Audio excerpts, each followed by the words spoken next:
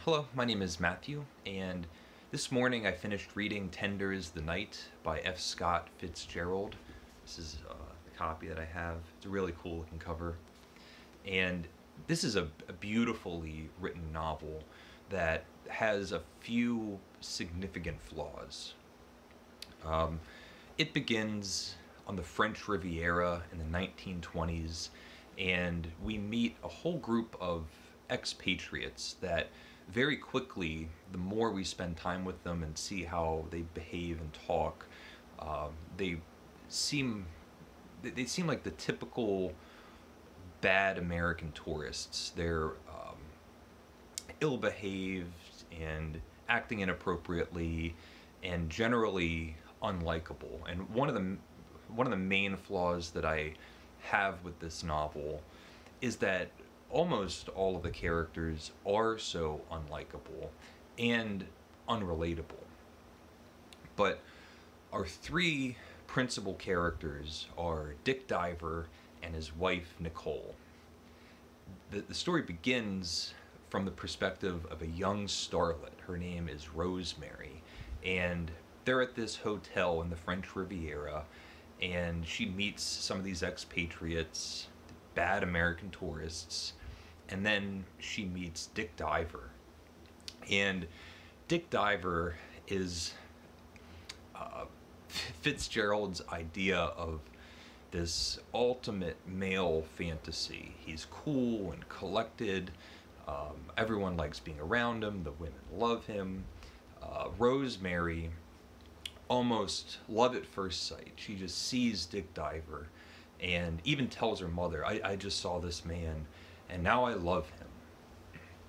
And from Rosemary's perspective, we get to see um, the relationship that Dick Diver has with his wife and why they are vacationing, holidaying in the French Riviera, and they spend time together.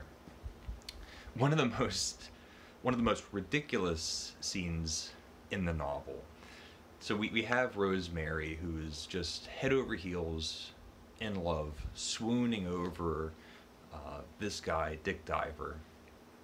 And one night she has just one glass of champagne and she pulls Dick Diver into her bedroom and she flings herself on the bed and just sort of like exclaims like take me dick diver is just standing erect and kind of rebuffing her advances and saying like you're, you're so young. She i think she's like a teenager and dick diver is like an adult in, in his mid to late 30s she say, says things like you know just take just take me and dick diver says what about my wife nicole? And rosemary says she'll never know. So there's sort of kind of like bad, bad dialogue that you might read in a cheesy romance or something. It's altogether unbelievable, or I don't like the idea that it's believable.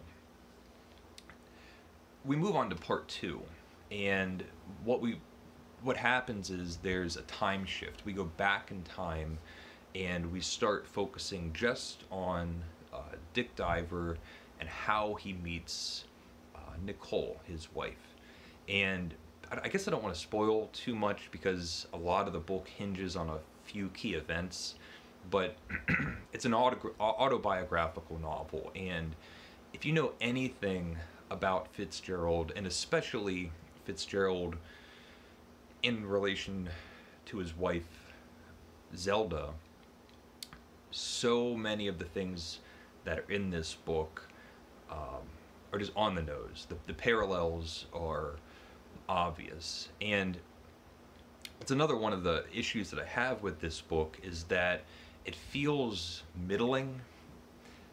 It's not entirely an autobiographical uh, novel. The the things that are happening don't feel entirely realistic or believable. And yet the creative aspects, the creative choices that were made in this book also don't have the imaginary powers that you might expect in a novel. And it doesn't go one way or the other, and so there's aspects to me that felt muddled. But as we follow um, Dick Diver's uh, relationship with um, his soon-to-be wife Nicole and their experiences and his experiences after they've been married, we we find that Dick Diver's life is one of tragedy. There's a downward spiral, and his life has a series of misfortunes, a lot of which are his own fault. Some are just character traits that he has. Um, he's pretentious and ob- obnoxious and unlikable. He sees himself as much better, much more intelligent, more competent, um, more interesting than he really is. And so the, the book starts having this gradual slope where we're following the life of a man um, who's just falling apart. Everything around him um, starts going really badly. And I'll say uh, there's a quote on the back. This is from Ernest Hemingway. And Hemingway and Fitzgerald knew each other. Uh, I don't know a lot about their association, but I do know that they had a falling out. So we have this character, Dick Diver, who, for all intents, is a, a mask that Fitzgerald is wearing. Dick Diver is Fitzgerald. And as the book goes along, Dick Diver's life gets worse and worse. Just all of these tragedies and misfortunes. Um, so Hemingway has a quote uh, Tender is the Night gets better and better. So I love the idea of Hemingway being kind of uh, disgruntled and uh, mad at Fitzgerald for something, and then pleasantly reading this book about a character who's obviously Fitzgerald, whose life falls to pieces.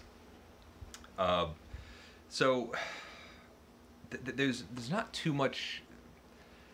Some of the characters that we meet, I, I have a really hard time connecting to uh, Nicole, Rosemary, Dick, and when tense moments happen, when really tragic, sad points occur in these people's lives, um, the feeling that I have isn't so much that, that I don't care about them, but that I've become numb.